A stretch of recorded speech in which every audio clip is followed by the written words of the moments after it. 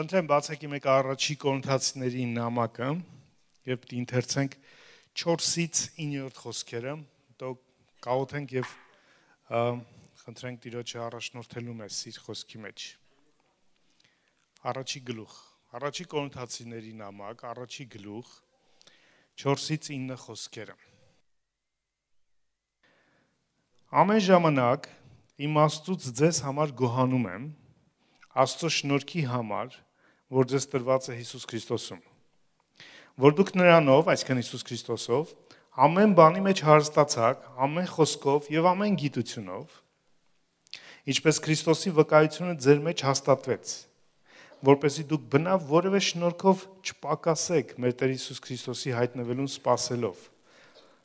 ով նաեւ ձեզ պիտի հաստատի մինչև վերջը անմեղադրելի լինելու մեր Տեր Հիսուս Քրիստոսի օրում։ Հավատարիմ է Աստված, որ կան, որով կանչվեցիք հաղորդ լինելու իր որդուն մեր Տեր Հիսուս Քրիստոսին։ Ամեն։ Եկեք կաղոթենք։ Մեր Հայր, մեր Աստված, մեր Տեր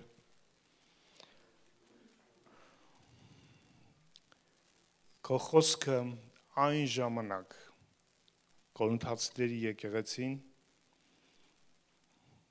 քո բժշկող, քո հաստատ քո կամքը կատարող իրականությունն էր քո առաքյալի Պողոսի ձեռքով։ Ոյմա նույն խոսքը կենթանի ու զորեղ երկսայրի սուրի նման խոսելու մեզ եւ այն ինչի համար արցակվել, այնպես Երեմյան մարգարեության մեջ ասում էր, որ իմ խոսքս ճիշտ անձրևի ու ձյունի նման է, բարապ չի դառնում ինձ ինչև ինչի համար ուղարկել եմ չկատարի։ Ու հավատում ենք, որ քո խոսքը կենթանի այսօր մեզ համար։ Ու դու ուղարկել ես իրան մեր կյանքերը ավելի քեզ նման, քեզ ցանկալի, քեզ հաճելի, քո ուզած կյանքը մեր մեջ կառուցելու համար մեր Տիրոջ Հիսուսի անով։ Մեր սրտերում մեր մտքերը բաց են, գործիր, բացիր, հայտնիր մեզ քո կամքը, քո ճշմարտությունը, որտեվ եթե դու չհայտնես, եթե դու չգործես քո Սուրբ Հոգով, մենք բոլորս կույր ենք, մենք բոլորս անմիտ ենք քո հոգու, քո խոսքի առաջ։ Հիսուսի անով ենք խնդրում։ Ամեն։ Ամ Կորինթոսի իրավիճակը շատ նման այսօրվա իրավիճակին։ Ամ Կորինթոսը շատ բազմա բնույթ, խայտաբղետ, բազմաէթնիկ հասարակություն հասարակություններ, ինքը շատ քանի որ նավանգստային քաղաք էր, շատ տարբեր տեսակի մարդիկ կային, տարբեր պես սոցիալական շերտերից, տարբեր ազգային շերտերից, դե պես ասած առևտրական կենտրոնները միշտ լիքն են, չէ՞, տարբեր տեսակի մարդկանց, ամեն մեկը ինչ որ բանա բերում, ինչ որ բանա տանում, հա, եւ դա նաև իր խնդիրներն էր ստեղծում։ Այսօրվա աշխարհն էլ նկատել եք որ աշխարհը դարձել է շատ մեծ շուկա, ամեն ինչ, հա, մինչև ինտերնետի հայտնվելը կարելի էր պահպանել նույնիսկ շատ արժեքներ ազգային, շատ մշակութային ինչ որ էլեմենտներ, հա, փակ երկրներ կային, բայց այսօր տենց փակ երկրներ համարյա թե չկան։ Այսօր Հայաստանի երիտասարդները ինտերնետի միջոցով նույն մշակույթ ունեն, ինչ որ ունի ասենք նույն Ամերիկայի երիտասարդը կամ Ռուսաստանի կամ Աֆրիկայի։ Իրանք տարբեր լեզուներով են խոսում, տարբեր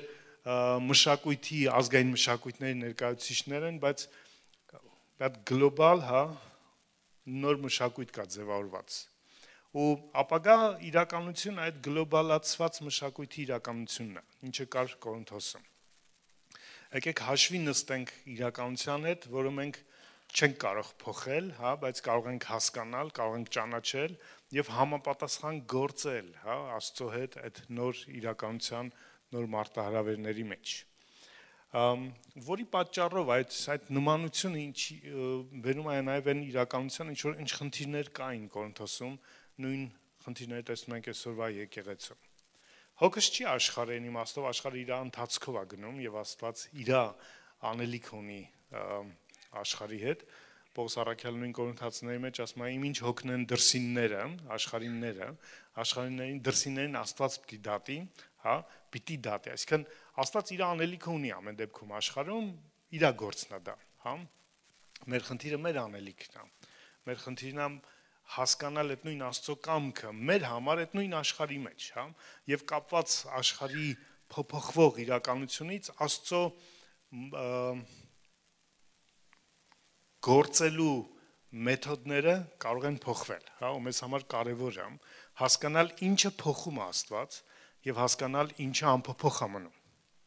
Որովհետեւ եթե մենք խառնենք, չհասկանանք այդ փոփոխման ու անփոփոխի տարբերությունը, ցավոք կարողա փոխենք բաներ, որոնք պետք է մնան անփոփոխ եւ հակառակը անփոփոխ պահենք բաներ, որոնք պետք է հակառակը փոխվեին։ Սա պատճառը, որ օրինական եկեղեցիներ, որոնք արդեն մի քանի 100 տարի նույն ձև ունեն, ծառայության կամ կազմի, հա, ու այդ բաներ որ կարելի էր փոխել, նույնիսկ պետք էր փոխել, որովհետև իրանք ժամանակից արդեն դուրս են, հա, իրանք խորթ են, օտար են եւ տարբեր են գործող իրականությունից, մարդկային հասարակության իրականությունից եւ ունենք համայնքներ, որոնք եկեղեցական համայնքներ, որոնք փոխում են անփոփոխը։ Օրինակ ճշմարտության ճանաչումները, ճշմարտության հիմքերը, ճշմարտության ընկալումները եւ սա ավելի վտանգավոր է։ Ու Պողոսը կոնոթացների իր նամակը սկսում է հենց այդ զգուշացումով։ Երկու բան ուզում եմ առանձնացնեմ այս փոքրիկ հատվածից։ ի վերջո բոլորիս ակնկալիքը այդ այդ վերջի օրն է, Տեր Հիսուս Քրիստոսի հայտնվելու օրը։ Չէ՞։ Քրիստոնեական ողջ ակնկալիքը, որ մեր ողջ մեր գործունեությունը, ինչ որ մենք անում ենք, չենք անում, հա,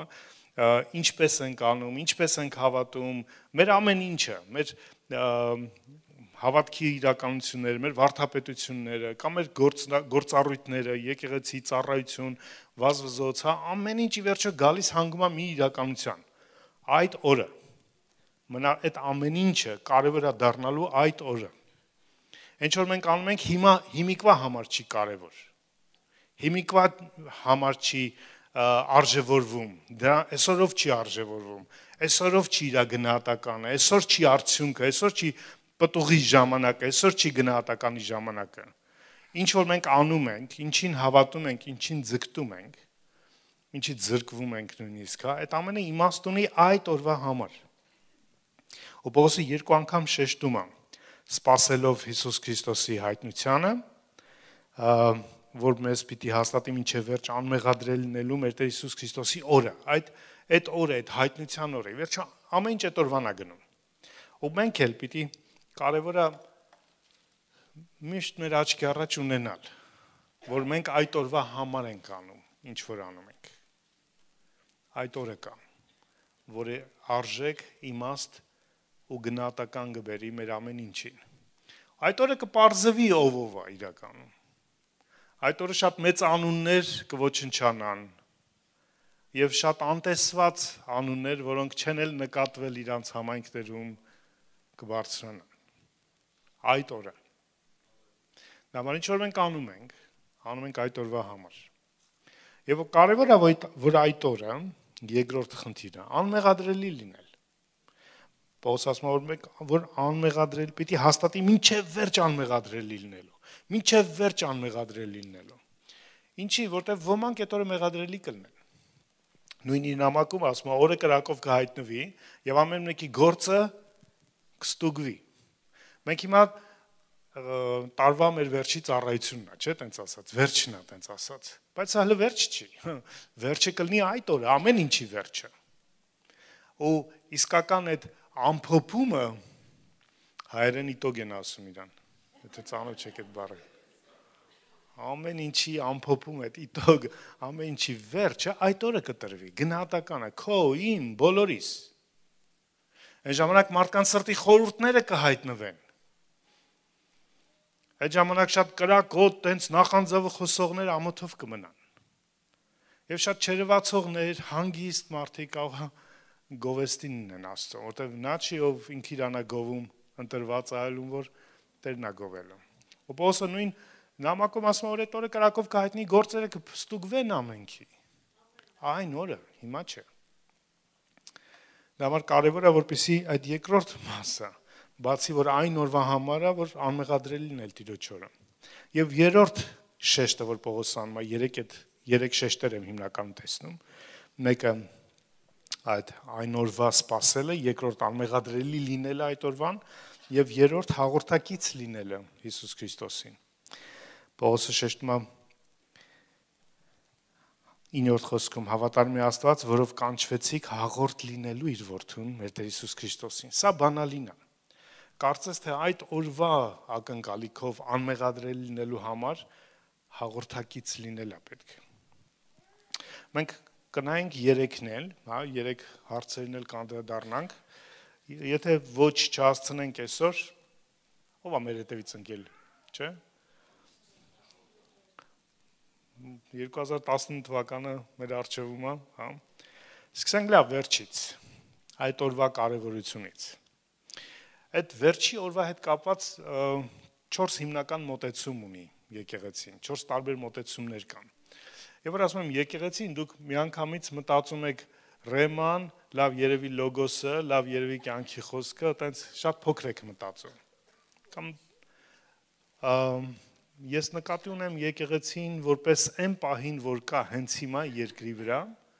իր բազմաբնույթ դրսևորումներով, դա թե կաթոլիկ աշխարհն է, թե ուղղափառ աշխարհն է, թե բողոքական աշխարհն ամբողջապես եւ թե պատմական իմաստով եկեղեցին որ սկսվեց Պենտեկոստեից, հա? Դե որ ասում են եկեղեցին այդ մեծ իմաստով, եթե ասում են եկեղեցին այսօր, ուրեմն այսօրվա ներկա աշխարհը, հա? Շատ լավ։ Առաջի մոտեցումը վերջի դեպքերի կոչվում է իդեալիստական մոտեցում։ Այս մոտեցումը միջին դարերի գերիշխող մոտեցումն է։ Եվ այս մոտեցման իմաստը սա է, որ վերջին դեպքերը, վերջին նկարագրերը, դա հազարամյանն է, դա Հիսուսի երկրորդ գալուստն է, հա, փառավոր հայտնությունն է, մեղավորների պատիժն է, արթարների վարչատրությունը, բոլոր դրանք ավելի շատ պատկերներ են, իդեաներ են, գաղափարներ են, որոնք իրական պատմական դեպքերի մասին չեն դրանք ուղղակի ընդհանուր գաղափարներ են, որ չարի եւ բարի ու բախման մասին, որ ի վերջո պատմությունը Աստված կվերջացնի բարության հաղթանակով եւ Աստծո բարությունը, Աստծո արդարությունը կհաղթանակի ողջ երկրի վրա։ Բայց պարտադիր չի նույն ճշտությամբ պատմական իրադարձություններ լինեն, ասենք երկրորդ գալուստը, որ հանկարծ մեկ էլ երկնքից կարող է մարտիչնի լույսով, փառքով, աղմուկով կամ որ 1000 տարի պետքա թագավորություն լինի եւ այլն։ Սա իդեալիստական, հա, մոտեցումն է, որտեղ դեպքերը վերջին օրերի նկարագրված են ավելի շատ իդեալի իդեալական ձևով, գաղափարների ձևով։ Երկրորդ մոտեցումը պատմական մոտեցումն է։ Օրինակ պատմական մոտեցումը բողոքական շարժման սկզբի մոտեցումն էր, Մարտին Լյութերը ուներ այդ մոտեցումը, որ վերջին օրերի դեպքերը դրանք ոչ թե զուտ վերջին օրերի մասին են, այլ եկեղեցու ողջ պատմության մասին են օրինակ հայտնության 7 եկեղեցիները ոչ թե դրանք առանձին եկեղեցիներին ուղված նամակներ են, այլ ողջ եկեղեցու ժամանակաշրջաններն են, պերիոդներն են, հա, ու ոմանք ովքեր հավատում են այդպես ասում են մենք հիմա ապրում ենք այսինչ Լավոդիկեի ժամանակաշրջանն ենք, չգիտեմ Սարդիկեի ժամանակ, այսինչ այսինչի ժամանակ, սա այդ մոտեցումն էր, պատմական։ Սրա վտանգը նաև նրանում է, որ նորից այն կանխատեսված վերջի դեպքերը, ինչ որ Պողոս ասում է այդ օրվա եւ այդ օրվա հետ կապված դեպքերը, չեն դիտարկվում որպես ստույգ պատմական իրադարձություններ, այլ ավելի շատ արդեն ընդհանուր ֆոնի վրա դրանք կատարվում են, հա, եւ դրա մի մասը արդեն եղել է, մի մասը հետո է, բայց ոչ թե իրանք հետո կատարվող իրականություններ են։ Երրորդ մոտեցումը ֆուտուրիստական կամ ապագայի մոտեցումն է, սրանք հավատում են, որ այդ դեպքերը մեզան շատ հերրու ապագայում են դեռ։ Դեռ հələ շատ հերրու կա, հələ հələ շատ բան կա։ Նման մտածման մարդիկ, երբ որ խոսում ենք իրանց վերջին օրերի մասին, ասում են, «Է, հələ էս պետքա լինի, հələ են պետքա լինի, հələ, չգիտեմ, տաճարը պետքա կառուցեն Երուսաղեմում, դա էլ Յարաբ երբ կկառուցեն հрьяաները, կկառուցեն թե չէ, դա էլ հարց է, որտեվ այնտեղը որտեղ պետքա կառուցեն, արդեն զբաղեցված է մահմեդական մսկիթ կա, որը մահմեդականների համար երրորդ սրբությունն է իրանց աշխարհի ու տենց հեշտ չի լինելու այդ քանդել ինչ որ հրեական տաճար կառուցելու, հա, այդ հələ շատ կա հələ պիտի ները հայտնվի, հələ պիտի չպեր բաժանեն, հələ պիտի կնիքներ դնեն, հələ պիտի սա լինի, հələ պիտի նան, հələ 7-նյակ կա, հələ էս կան կա, իրանք հələ այդ հələ դեռ արխիվում, հա? Սա ֆուտուրիստական մոտեցումն է։ Չորդ մոտեցումը պրետերիստական մոտեցումն է, ավելի շատ անցյալի մոտեցում է, թե ֆուտուրիստները ավելի շատ ապագայում են տեսնում, պրետերիստները տեսնում են դա անցյալում, ասում են այսպես, այն ինչ որ նոր կտականի գրողները, Պողոսը, Պետրոսը, Մարգարեները, Հիսուսը, հա, խոսում էին որպես ապագա, մեր համար արդեն անցյալ է։ Դրանք արդեն կատարվել են անցյալում։ Դեպքերը, բոլոր այդ վերջին օրի, հա, այդ բոլոր դեպքերը արդեն կատարվել են։ Ուղղակի իրանց համար դա ապագա էր, բայց մեզ 2000 տարի անց որ հետ ենք նայում, տեսնում ենք դա արդեն մեր անցյալն է։ Միանգամից հարցա, չէ, առաջանում լավ, որն է ճիշտ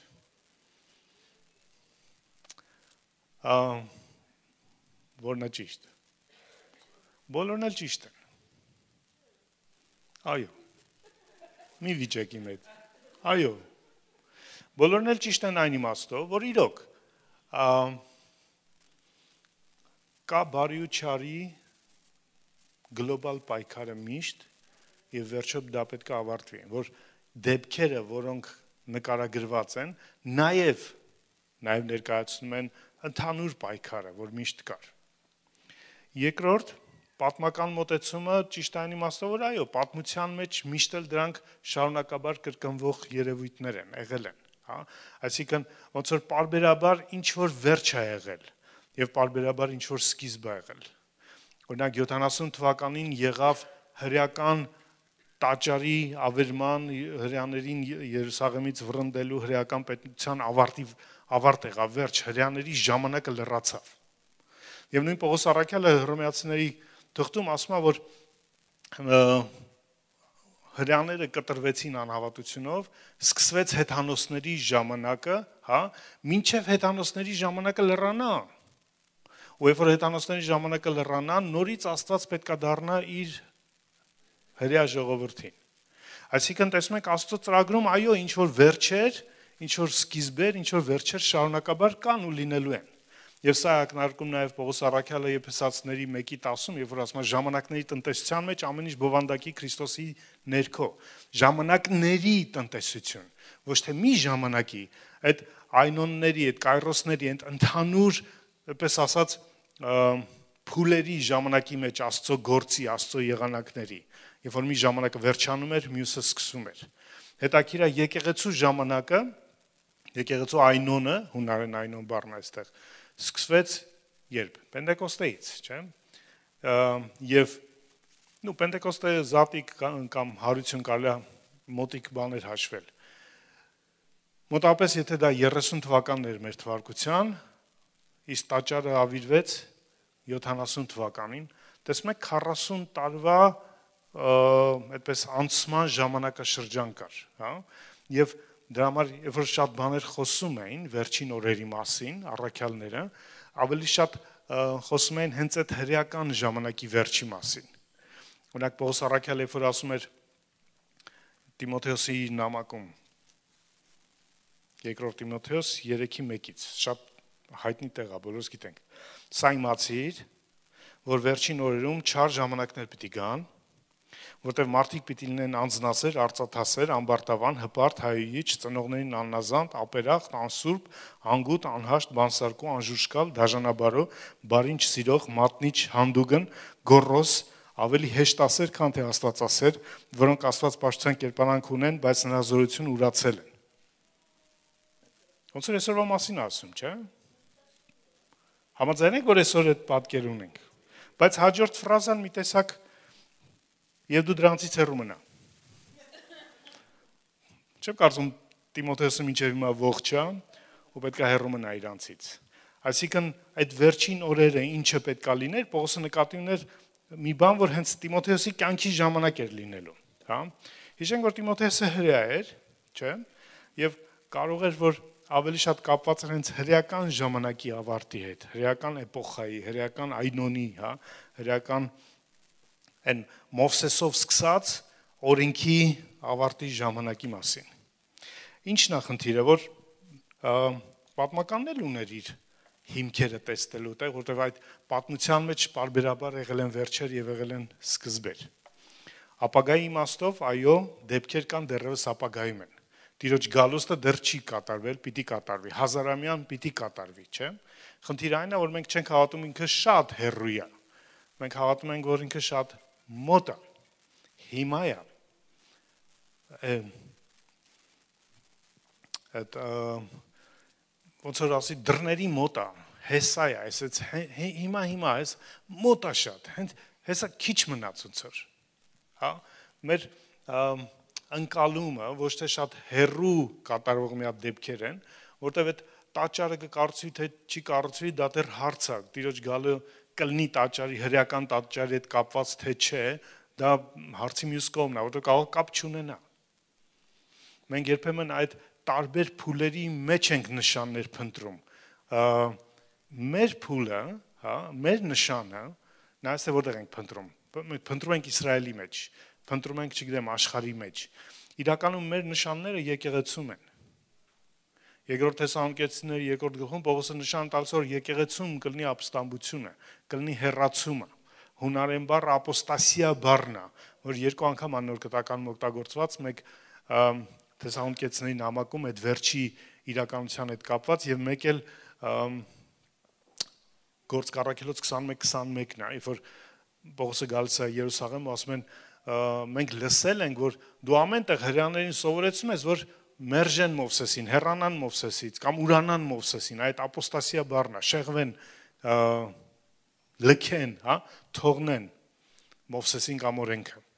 Այդ նույն բառն է օգտագործած։ Նշանակում է այդ վերջին նշանը իրականում ամենակարևոր նշանը մեր համար եկեղեցու մեջ է։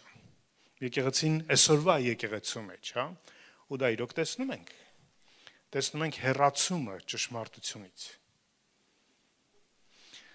Դա համար այո դեպքերը դեռ ապագայում են, բայց դրանք հերո ապագա չեն։ Մենք արդեն այդ դեպքերի մեջ ենք։ Մեր աչքերի առաջ իրականանում Աստծո վերջին դեպքերը, վերջին շարժը Հիմա ինչու՞մ է այդ անմեղադրելիության խնդիրը։ Ինչպես լինել անմեղադրելի, հա? Ինչը Պողոսը զգուշացնում է։ Տեսեք, ինք շատ տենց դրական ոչի մեջ ասում, Աստված պետք է հաստատի լա, որ միջև վերջ անմեղադրելն եք։ Համ հորդորում է, համ էլ բայց նաև զգուշացնում է, չէ՞։ Այսինքն ճիշտ ոնց որ կոնտացներին ասի, նայեք հանկարծ մեղադրելի չգտնվեք։ Հա, Աստված ուզում է ձեզ հաստատի, Հիսուսը ուզում է ձեզ հաստատի, բայց հանկարծ նայեք մեղադրելի չգտնվեք։ Ինչու՞մ է այդ մեղադրելիության խնդիրը։ Նույն Պողոսը իդեպ ասեմ Պողոսի հեղինակները, Պողոսա գետները, տենց ասած, բոլորը պնդում են, որ Պողոս Արաքյալը շատ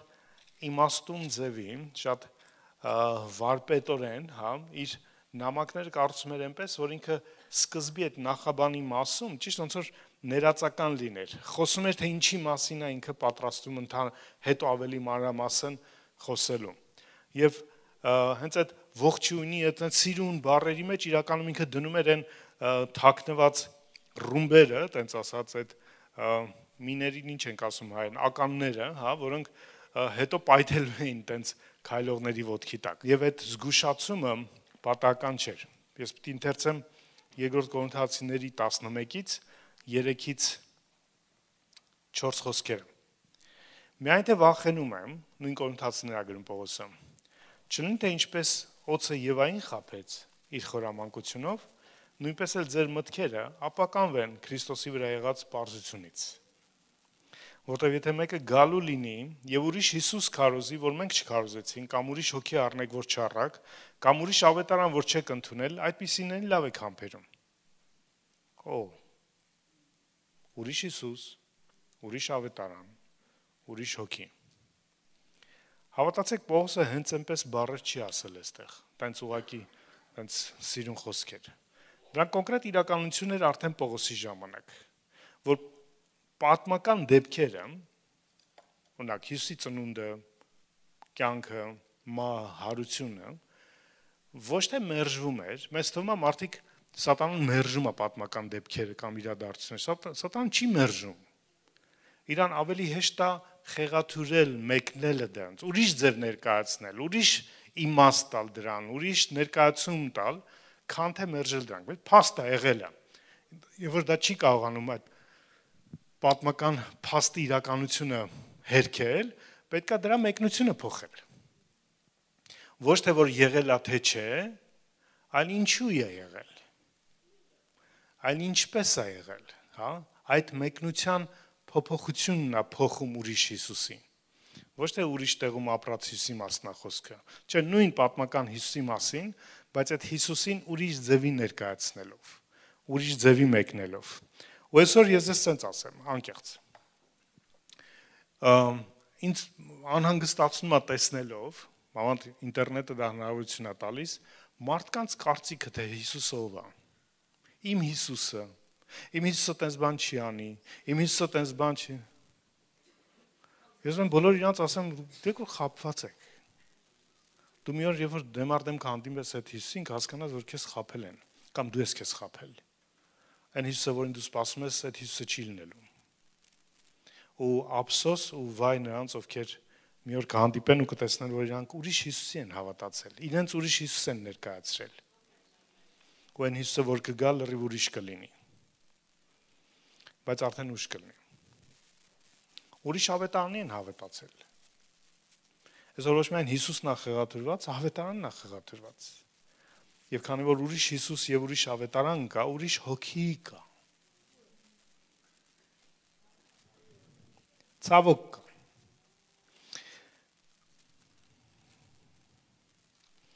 Բոս ավետանի մասին մի հատ հատուկ շեշտադրում ունի։ Եկեք նա Հռոմեացիս 16-ում նայեմ։ 16-ի 25-ը։ Պողոս ասում է վերջացնում հռոմեացիների նամակը, որ իր աստվածաբանության գլուխ գործածներից մեկն է, հետեւյալ արտահայտությամբ, ասես վերջի կոչն է, վերջի կնիքն է, հա, ավարտն է։ Արդ նրան, որ Աստվածա, որ կարող է ձեզ հաստատել իմ ավետանիս պես։ Չի ասում ուղակի ավետարանի պես։ Հիսուս Քրիստոսի ավետարանի պես, իմ ավետարանի պես։ Եվ Հիսուս Քրիստոսի քարոշչության պես, այն խորհրդի հայտնվելու պես, որ հավիտենական ժամանակներից ի վեր ծածկված էր ու հիմա հայտնվեց եւ մարգարեական գրքերով հավիտենական Աստծո հրամանով բոլոր հետանոցներին ճանաչվեց հավատքին ազդանության համար մի միայն իմաստուն Աստծուն Հիսուս Քրիստոսի ձեռքով փառք հավիտյանս ամեն։ Դուք նկատում եք, որ բանալին այստեղ իմ ավետարանն է։ Այդ ավետա իր ավետարանի մեջ է ճիշտ քարոշչություն Հիսուս Քրիստոսի, ճիշտ խորհուրդը մարգարեական հայտնված, որ ծածկված է ժամանակների մեջ։ Իր ավետարանում Աստծո հավիտենական հրամանը դրսևորվում եւ հեթանոսների մեջ պտուղ տալիս։ Իմը շեշտում է Պողոսը, որտեվ շատ ուրիշ ավետարաններ էին քարոզվում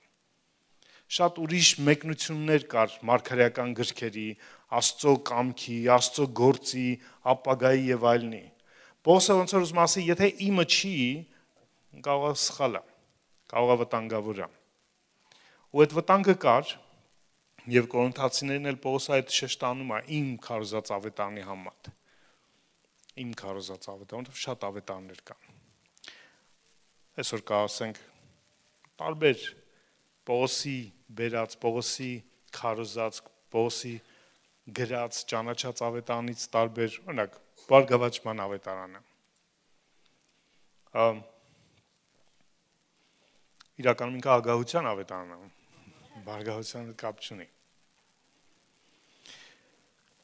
Ամ ինչու՞ է խնդիրը։ Ամ ինչի որ Աստծո մենք բոլորս աղքատ եւ ողորմելի կյանքով ապրենք։ Դա չի հարցը բայց այն էլ չի, որ ով Աստծուն հավատում է, պետք է ուղակի հարուստ, չաղ ու բախտավոր, չէ, այնց ծաղկի ֆինանսապես միայն ծաղկի, միայն ծաղկի, միայն ծաղկի Ու եթե դու աղքատ ես, եթե դու, ասենք, ֆինանսապես նեղության մեջ ես, վերջ, ուրեմն ինչ որ բանից ընկել ես, всё, Աստծո շնորհքը չկա քո կյանքում, հավատք չկա, Աստված չկա քո կյանքում։ Դա Պողոսի ավետարանը չէր։ Պողոսը նույն Կորինթացներին երկրորդ նամակում ասում է, որ այն շնորհքը, որ տրված է մակեդոնացիներին, որոնք իրենց ծայրահեղ աղքատության մեջ մեծ առատաձեռնություն ցույց տվեցին, հա? Ու ինքը որպես օրինակ է դա դրական օրինակ, եթե բանը աղքատությունը անեծք էր եւ վատ էր, չկար Աստված այնտեղ, Աստծո պատիժներ դա, Աստված բացակայ այնտեղ ներկա չի, Պոսը չպետք է դա դրական օրինակ որպես բերեր այդ աղքատ մարդկանց մեծ առատաձեռնությունը։ Ու խնդիրն այն է, որ մենք եթե տենց ասած ծախվում ենք, հա, այդ խայծին ենք տրվում, մեր կյանքը սկսում է ոչ թե համատվել Աստծո հետ մեր հարաբերության համեմատ։ Այն ինչը Պողոսը զգուշացրեց 9-րդ խոսքում մեկի. Կանչվեցիք հաղորդ լինելու իր որդուն ոչ թե մեր հաղորդ լինելու Հիսուսի այդ հաղորդ լինելու բաժնեկցումն է չափանիշը դառնում, այլ մեր նյութական հարստության չափն է դառնում։ Դա համար եթե մեկը նյութական հարստությունն է, ասում ենք ինչ օրտնված աղբեր է, ինչ օրտնված քուր է, ինքը շատ օրտնված է։ Բայց այն մյուսը կարող է չունենա նյութական հարստության, կարող է նույնիսկ աղքատ լինի, բայց ավելի շատ բաժնեկից լինի Հիսուսին։ Ու մենք դա չտեսնենք, չգնահատենք, չասենք դա որպես օրտնություն, որպես Աստծո ներկայություն իր կյանքում։ Վտանգը այդտեղ է եւ դա ավետարանը չի։ Գիտեք որ Հիսուսը 10 անգամ ավելին խոսել է ագահության դեմ, քան թե շնության դեմ։ Եվ այդ ավետարան քարոզողները բարգավաճման, իրանք մեղքերի դեմ են քարոզում, չէ՞ մեղքի դեմ չեն, սրբության համար են մեղքերի դեմ են քարոզում, այս մեղք են, դրանք բոլորը երվածող մեղքեր են։ Որովհետև ագահությունը չերվածող է։ Ու հեշտ է ծածկել չերվածողը ուրիշի երևացողին մատնացույց անելով։ Մյուս ավետարան հավատքի ավետարանն է։ Սրա հեղինակը Քենեթ Հեգինն էր եւ իր նման մյուս շարժումը սկսեցին։ Ամեն ինչ հավատքով է։ Ինչ ունես քո հավատքի դրսևորումն է եւ ինչը չունես քո հավատքի պակասի դրսևորումն է։ Եթե հիվանդ ես, ուրեմն հավատք չունես։ Ու քանի որ հավատք չունես, Աստված չի կարա տեղ լինի։ Ու պետք ամեն գնով բժշկվել ոչ թե փնտրել Աստծո կամքը ներկայությունը, հաղորդակցությունը, այլ փնտրել բժշկությունը, որովհետև դա քո հավատքի դրսևորումն է, դա դրական է, դա ցույց է տալիս, որ դու ուժեղ ես, դու ճիշտ ես, դու արդար ես։ Դա հոբի ընկերների մտածումն էր, եկան հոբին մխիթարելու, ճակերտավոր մխիթարությունը։ Ասում են դու մի մի մեղ գործել ես, ասա, որ որ արդարն է սենց վիճակում ընկել եւ վերջում Աստված ասեց, որ իրանք սխալ խոսեցին։ Պետք աղոթի այլապես իրանք պատժելու են։ Ու երբ որ մենք այս ավետարանով, հա, մոտենում ենք մեր քրոջը կամ եղբորը, որը ինչ որ ճանապարհ անցնում, հա, ինչ որ դժվարություն անցնում, հիվանդության մեջ կամ ինչ որ չարչարանքի նեղության մեջ, մենք ասում ենք, Աստծո կամքը չի, պետքա դուրս գաս տեղից, հավատքը դուրա։ Ու նման ավետարանիչները, եւ որ աղոթում են մարդը չի բժշկում, ասում են, հավատքը չերիքեց։ Քո հավատքը չերիքեց։ Որտեվ Հիսուսն էլ է ասել, քո հավատքի չափ լինի քեզ։ Բայց մոռանում են, որ իրանք Հիսուսը չեն։ Բաներ, որոնք արել է Հիսուսը, ոչ ոք չի կարող անել։ Դրանք անկրկնելի են։ Սուրբ ծնունդը։ Խաչը, հարությունը Աստծո որդի կոչվելը, լինելը այնպես ինչպես իրեն, դա չի որ բոլորս նույն ձևի պետք այդ շեղված, խեղաթյուրված ավետարանն է։ Ու մարդիկ կոտրվում են, մարդիկ չեն գտնում պատասխան իրանց, որովհետև սխալ ավետարանին են հավատացել։ Որովհետև որ մարդը հիվանդության, դժվարության, ցավի մեջ է, կորուստի մեջ է, բոլորիս կյանքում կան այդ օրերը, կան այդ իրականությունները ու մենք հավատում ենք, որ всё Աստված մեզ թողել է, մենք Աստծո կամքից դուրս ենք, կամ ինչ-որ բան այն չի ու փող մակարում ենք դրանից դուրս գալու համար։ Ես չեմ ասում հիվանդությունը լավ բան է, փառքես Տեր, որ ես հիվանդ եմ։ Տենց չի։ Դա մի քիչ նորմալություն է։ Դրա մասին չի խոսքը։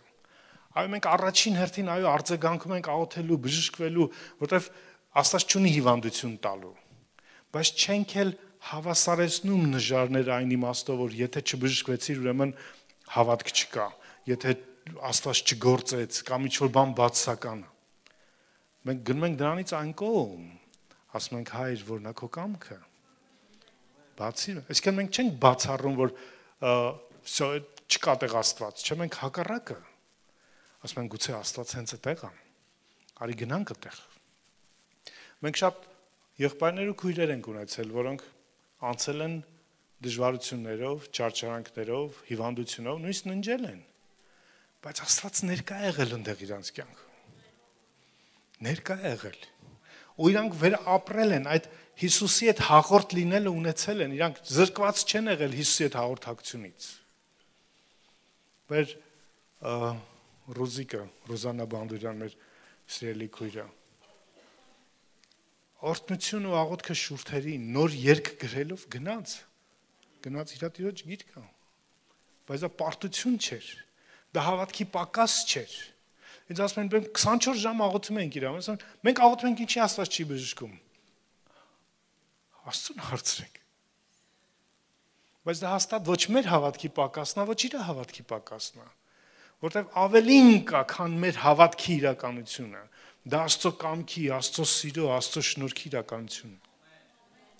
ու երբ որ չկա այդ ավետանը իրական ավետանը, կա կեղծ ավետանը, դա մարդկանց բոլորն են անցնելու են հիվանդություն ցավով, ու նրանք ովքեր քարոզում էին հավատք, ընտանիք են կորցրել, երեխաներ են կորցրել, կանայք են կորցրել, չեն բժշկվել, աշխարհ եկավ մարգարեացավ, մեկը կորավ, մեկը գնաց։ Ու հասկացան, որ հո, տենց չի, որ հավատքով հրճակում ենք ու վերջ։ Այո, հավատքով հրճակի, բայց վերջը տեղ չի վերջը Աստծո կամքի մեջ է։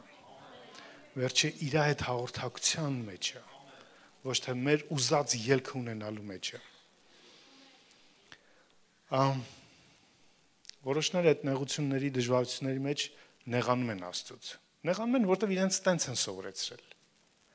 Այդ ավետարանն են իրանց հավետացրել, որ չպետք է խնդիր ունենալ, հա, պետք է ամեն խնդրից դուրս կգաս, որտեղ Աստված դուրս է բերում։ Բայց ողջ ավետարանը այլ բան է ասում շատ նեղություններով է պետք մեզ Աստծո թագավորությունը մտնել։ Ուրախացեք, երբ որ դժվարությունների նեղությունների մեջ եք ընկնում։ Հավանել եմ իմ նեղություններին։ Մեր ժամանակավոր հպանցիկ նեղությունները ոչինչ են ընկալիք парքի համար, որ պիտի հայտնվի դրանց, բոլորի մեջ նեղությունը կա, արկա է։ Աստծո կամքի, Աստծո ծրագրի մեջ, թույլ տված կամքի մեջ օգտագործվող իրականությունը ու չի հակասում Աստծո կամքին։ Չի բացառում Աստծո կամքը, չի բացառում անանտ Աստծո ներկայությունը այնտեղ։ Նրանք ովքեր հաղորդություն, հաղորդակցություն ունեն Տեր Հիսուս Քրիստոսի հետ, իրան իրանց նեղությունների չարչարանքների մեջ նույնքան հլմբանել ավելի մոտիկություն են ապրում Տիրոջ հետ, քան երջանիկ առողջ ազատ ժամանակ։ Ու դա չի ոչ թե այն ժամանակ չկա Աստված, չէ, բայց այն նեղության մեջ միսակ ավելին ինքը հայտնվում այնտեղ։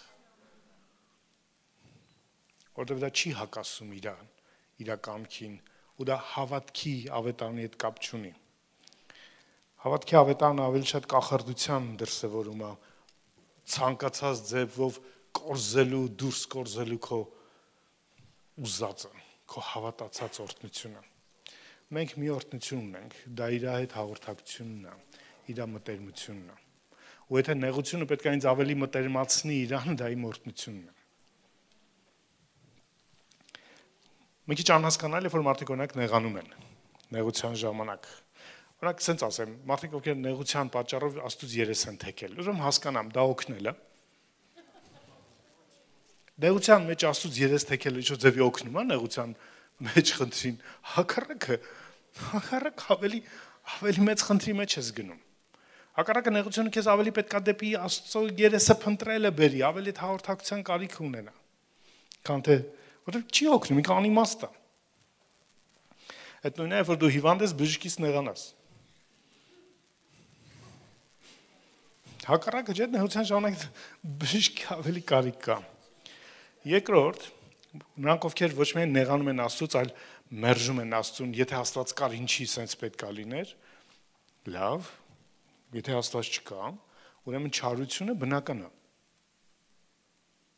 Որտեվ բնական կյանքում ուժեղները ուտում են, նեղացում են թույլերին, հա, չարություն կա։ Եթե Աստված չկա, բնական օրենքը նորմալ օրենք է դա։ Դա համար պետք չի մեղադրել ֆաշիստներին, պետք չի մեղադրել որևէ մեկին, որ ունի ուժ եւ կարողություն եւ դրա պատճառով նեղությունա տալիս ինչ որ մի հատ թույլի։ Ողջ դարվինյան էվոլյուցիան դրա վրա է, ուժեղներ ուտում են թույլերին։ Չէ՞։ Այսինքն եթե չկա Աստված ու նեղություն կա, ինքը բնական իրավիճակ ինչի եք նեղանում Աստծուց, հա? Դրա պատճառով չկա Աստված։ Ինչի ենք նեղանում, որտեղ մենք հասկանում ենք, հավատում ենք, որ ավելի բարձր օրենք կա, քան այս բնական օրենքն է։ Ու այդ բարձր օրենքի համեմատ է, որ այս բնական օրենքը սխալ է, չի կարող լինել։ Այդ բարձր օրենքը դա սիրելու, ներելու, ապրեցնելու, հոգ տանելու, զոհաբերվելու օրենքն է, ինչ Աստված հայտնել է խաչի միջոցով։ Ոստի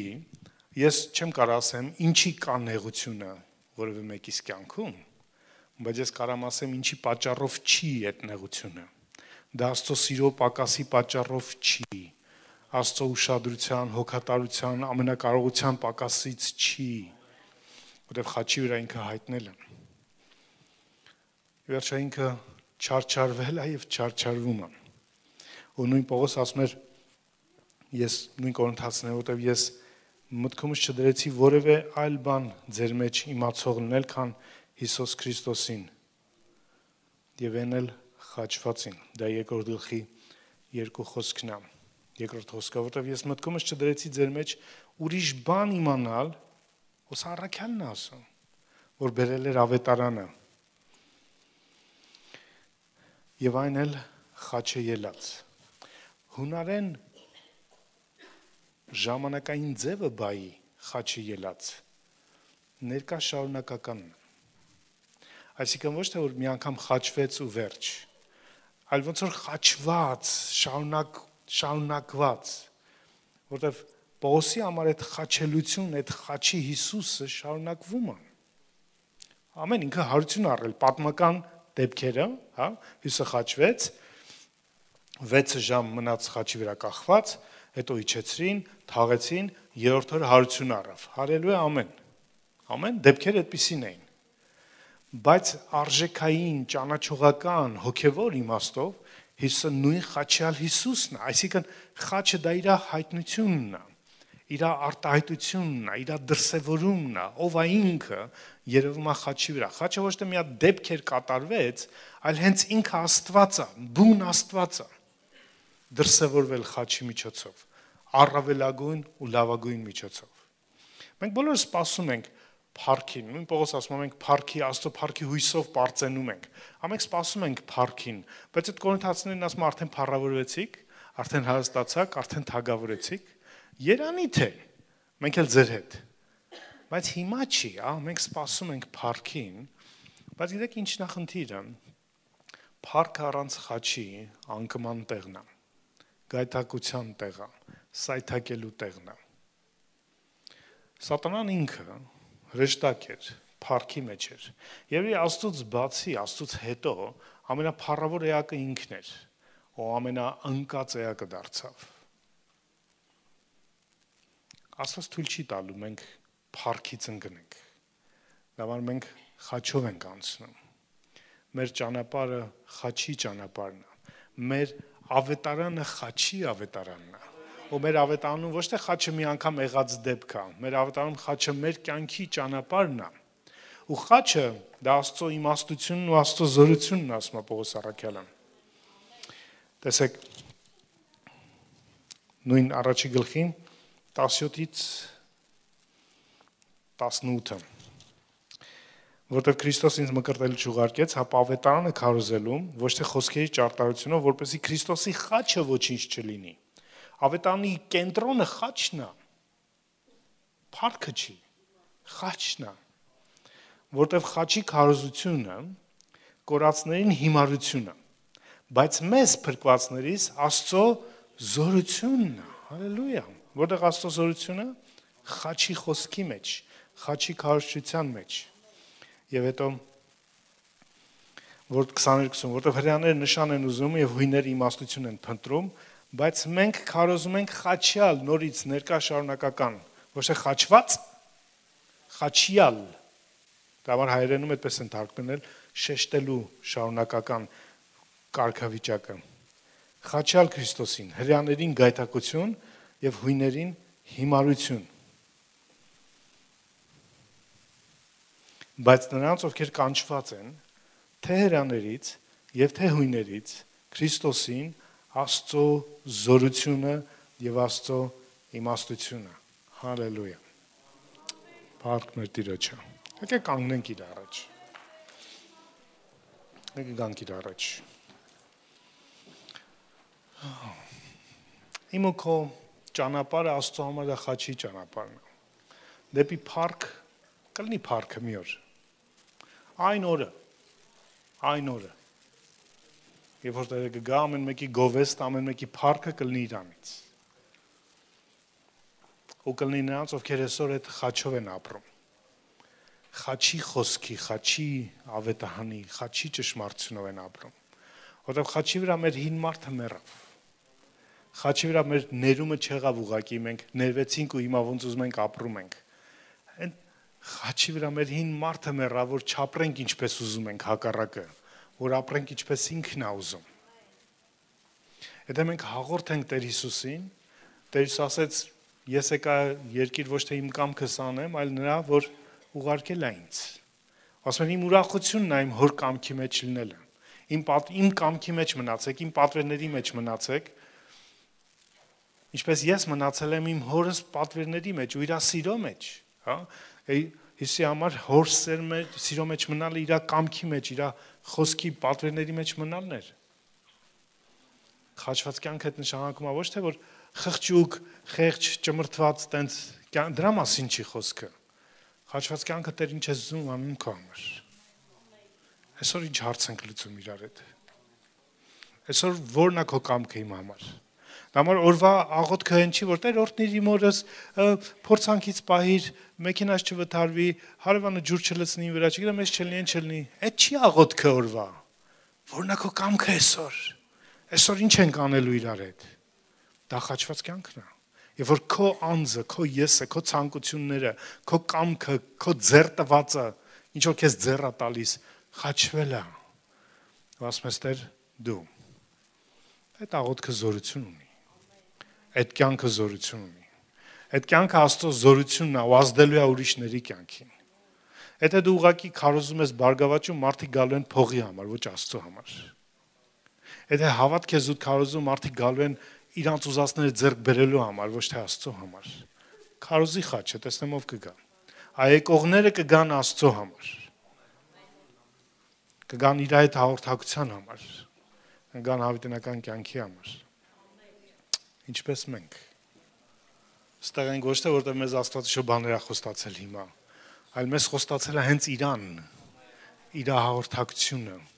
իր ներկայությունը։ Մեր Աստված ու մեր Հայր, անսահման շնորհակալ ենք քեզանից, որ մեզ տանում ես այդ նեղ ճանապարհով, որտեվ նեղա կածանը, նեղա ճանապարհը, ու քչերն են որ գնում են իրանով։ Ու նեղա դուրը, որ փրկություն է տանում օգնին մեզ միշտ մնալու այդ նեղի մեջ, ճշմարտության մեջ, չեղվելով աչ ու ձախ, չավելացնելով ու չպակասեցնելով քո խոսքին, քո ավետարանին, մնալով քո առաքյալների ու մարգարեների միջով մեզ հայտնված, միջոցով հայտնված ավետարանը դեր։ Մեր անձը դնելով քո առաջ ու քո համար, ապրելով քեզ քո քեզ համար հաճելի, քո կամքի մեջ, փառավորելով քեզ եւ ազդելով ուրիշների կյանքին, ցրելով խավարը մեր շուրջը, բերելով քո ավետարանի լույսը ուրիշների այլոց կյանքում էլ։ Հիսուսի անունով, Հիսուսի անունով, Հիսուսի անունով, Հիսուսի անունով։ Քո եկեղեցին ասեց. Ամեն։ Հալելույա։